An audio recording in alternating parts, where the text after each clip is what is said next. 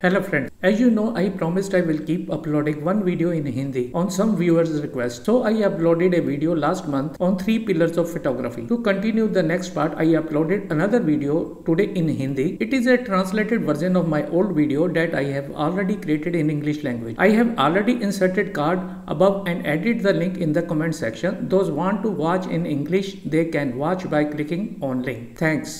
तो शुरू करते हैं हेलो फ्रेंड्स आज मैं फोटोग्राफी के उस पार्ट के बारे में बताने जा रहा हूँ, जो मोस्टली कैमरा ओनर्स नहीं जानते या यूज़ नहीं करते, पर इसको जानना काफ़ी फ़ायदेमंद है, क्योंकि ये आपकी फ़ोटोग्राफी पर काफ़ी असर डालता है। चले जाने इसके बारे में। जब आप फ़ोटो खींचते हैं तो आपने नोटिस किया होगा, आपकी पिक्चर में येलो, ब्लू या ऑरेंज कास्ट होती है। पर जब हम अपनी आँखों से देखते हैं तो हमें सीन नॉर्मल दिखता है। ये इसलिए होता है, आपकी फ़ोटो पर लाइट का इफ़ेक्ट पड़ता है, जो कि अलग अलग ज़रिए से आ रही होती है। नॉर्मली ये सोर्सेज हैं सन बल्ब फ्लोरोसेंट लाइट और फ्लैश लाइट हर तरह के सोर्स का अपना लाइट सोर्स होता है जो आपके इमेज पर अलग अलग असर डालता है। फ्लोरोसेंट लाइटिंग का असर ब्लू होता है।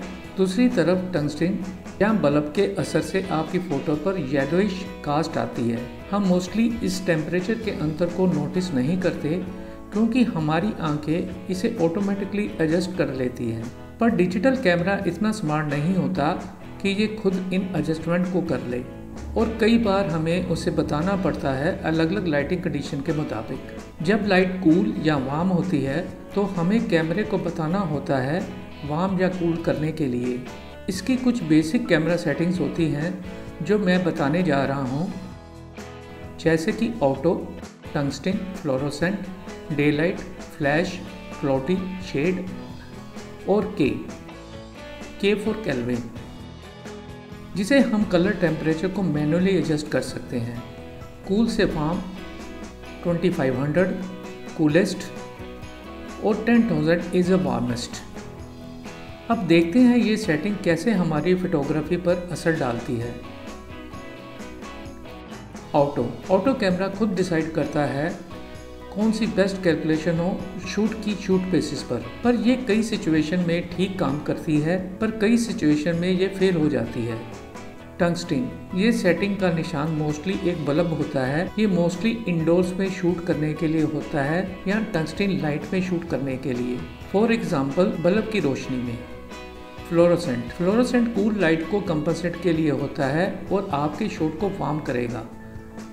फ्लैश। कैमरे की फ्लैश काफ़ी कूल लाइट देती है। तो अगर आप वाइट बैलेंस को फ्लैश मोड पर करते हो तो आपकी डे लाइट के सीन को ये और वार्म करता है। ये सेटिंग सभी कैमरों में नहीं होती, क्योंकि ये टेम्परेचर को नॉर्मल तौर से सेट कर देती है। क्लाउडी ये सेटिंग सीन को वार्म करती है दिन के उजाले में।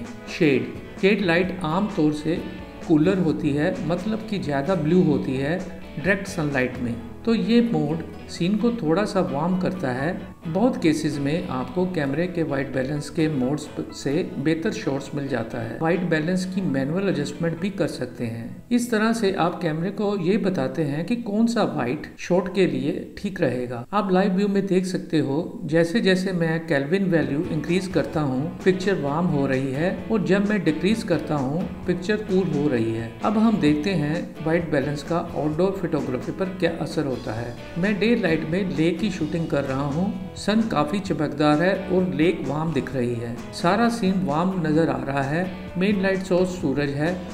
कैमरा सेटिंग को जस्ट करने के बाद मैं अपने कैमरे को बताऊँगा कि मुझे पिक्चर वार्म या कूल चाहिए। ज़्यादातर सभी कैमरेज में वाइट बैलेंस प्रीसेट्स होते हैं। तो मैं शूटिंग के लिए इन प्रीसेट्स को यूज़ कर रहा हूँ। पहली picture auto white balance preset पर शूट कर रहा हूँ। जो पहली पिक्चर शूट की है, वो थोड़ी सी डल है, क्योंकि कैमरा उसे हर शूट के बेसिस पर गैस करता है। दूसरे शूट में मैंने डे लाइट को सिलेक्ट किया है। आप देखेंगे पिक्चर ऑटो मोड से बेटर है। तीसरे शूट में मैंने कैमरे की सेटिंग फ्लैश पर सेट की है और आप देख सकते हो, इसने पिक्चर को वार्म कर दिया है, जो मुझे पर्सनली पसंद आई। हो सकता है आपको अच्छा ना लगे या आपकी रिक्वायरमेंट अलग हो। इसलिए आपके पास दूसरे प्रीसेट भी हैं। लास्ट शॉट मैंने फ्लोरोसेंट प्रीसेट सेटिंग्स को चूज़ किया है। आप देखेंगे पिक्चर काफ़ी कूल दिख रही है और ब्लू कास्ट के साथ। हमेशा हमें अच्छा रिज़ल्ट मिलेगा अगर हम सेटिंग्स को यूज़ करेंगे। अब हमारे पास एक और अच्छा फीचर है फोटोशॉप में वाइट बैलेंस को करेक्ट करने का। आगे चलने से पहले मैं आपको बताना चाहता हूँ आप इस वीडियो को लाइक करें और अपने एक सेकंड लाइक बटन को क्लिक करने में लगाएँ। और अगर आप लाइक और कमेंट करेंगे, ये मेरे चैनल को ग्रो करने में हेल्प करेगा। तो आप कुछ भी पूछ सकते हैं और इसका जवाब मैं ज़रूर दूँगा। और इससे मेरे चैनल को बहुत फ़र्क पड़ेगा, क्योंकि आप जितना लाइक या कमेंट करेंगे, मेरी वीडियो और ज़्यादा स्प्रेड होगी। जैसे ही मेरा चैनल ग्रो करता जाएगा, मैं और वीडियो भी डालने की कोशिश करूँगा। थैंक्स अब मैं जेपीजी फ़ाइल को ओपन करता हूँ। फ़िल्टर मेन्यू में जाएँ और कैमरा रॉ फ़िल्टर सेलेक्ट करें। पहली दो बार्स कलर टेम्परेचर को एडजस्ट करने के लिए है। पहली स्लाइडिंग बार कूल या वार्म टेम्परेचर को एडजस्ट करने के लिए है और दूसरी बार कलर कास्ट के लिए है। वाइट बैलेंस को रा फ़ाइल में ठीक करना बहुत जल्दी और आसान होता है। आप टेम्परेचर और कलर ग्रीन से मजेंटा में तब तक एडजस्ट कर सकते हैं जब तक कलर कास्ट रिमूव नहीं हो जाती है। या आप सिंपली इमेज के न्यूट्रल पोर्शन को क्लिक करके भी रिमूव कर सकते हैं। अब मैं रा फ़ाइल को ओपन कर रहा हूँ, जो सीधा कैमरा रा फ़िल्टर में में खुलेगी, ना कि फोटोशॉप वर्क प्लेस में। रा फ़ाइल में वाइट बैलेंस एडजस्ट करना ज़्यादा आसान है, क्योंकि कैमरा रा फ़िल्टर के प्रीसेट्स हम जेपीजी फ़ाइल में यूज़ नहीं कर सकते।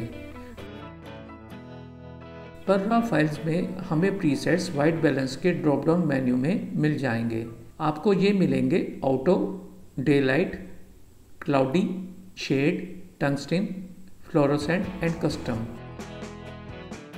देखिए कैसे इमेज पर असर पड़ेगा, जैसे ही हम प्रीसेट ऑटो से फ्लोरोसेंट चूज़ करते हैं, यहाँ यहाँ पर आप टेम्परेचर कूलर से वार्मर 25 2500 से दस हज़ार तक कस्टमाइज कर सकते हैं। आप इस चार्ट से भी कैलविन की अलग अलग लाइटिंग कंडीशन को समझने की हेल्प ले सकते हो। आज के लिए इतना। मेरी पहली Hindi video three pillars of photography देखना ना भूलें। Thanks for watching